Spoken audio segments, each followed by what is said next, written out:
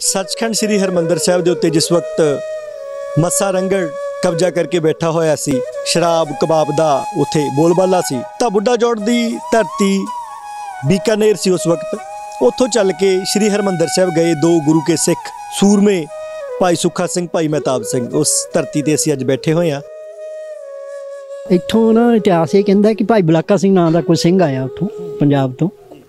ਉਹ ਦੱਸ ਪੈਂਦੀ ਪੈਂਦੀ ਜਦੋਂ ਇੱਥੇ ਆਇਆ ਜਥੇ ਕੋਲੇ, ਉਹਨੇ ਆਣ ਕੇ ਦੱਸੀ, ਸਾਰਾ ਵਰਤਾਂਤ ਜਿਹੜਾ ਦਰਬਾਰ ਸਾਹਿਬ ਹੋ ਰਿਹਾ ਸੀ ਵੀ ਸਰੰਗੜ ਉੱਤੇ ਬੈਠ ਕੇ ਕੰਜਰੀਆਂ ਨਚਾਉਂਦਾ ਹੈ। ਰੋਸ ਬਹੁਤ ਸੀ ਸਿੱਖਾਂ ਦੇ ਵਿੱਚ ਇਹ ਗੱਲ ਸੁਣ ਕੇ।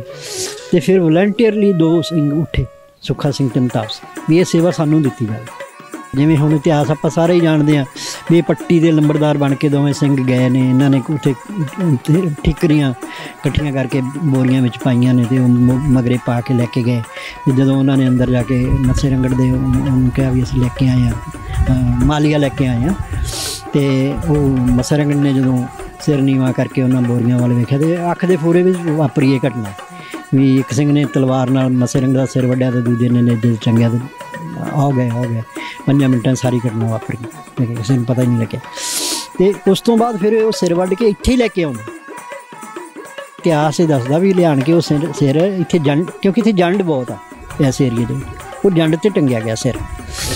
ਤੇ ਫਿਰ ਇਹ ਗੁਰਮਤਾ ਹੋਇਆ ਵੀ ਇਹਦੇ ਨਾਲ ਕਿੱਦੋ ਖੁੰਡੀ ਖੇਡਣੀ। ਉਸ ਸਿਰ ਨਾਲ ਫਿਰ ਸਿੰਘਾਂ ਨੇ ਪਤਾ ਨਹੀਂ ਕੀ ਕੀਤਾ ਹੋਊਗਾ, ਗੁੱਸਾ ਕਿੰਨਾ ਹੋਊਗਾ ਸਿੰਘਾਂ ਦੇ ਵਿੱਚ, ਹਨਾ? ਉਹਦੇ ਨਾਲ ਖਿੱਦੋ ਖੁੰਡੀ ਖੇਡੀ ਗਈ ਔਰ ਖਿਲਾਰਿਆ ਗਿਆ ਉਹਦਾ ਪੁਰਜਾ ਪੁਰਜਾ ਕੀਤਾ ਗਿਆ।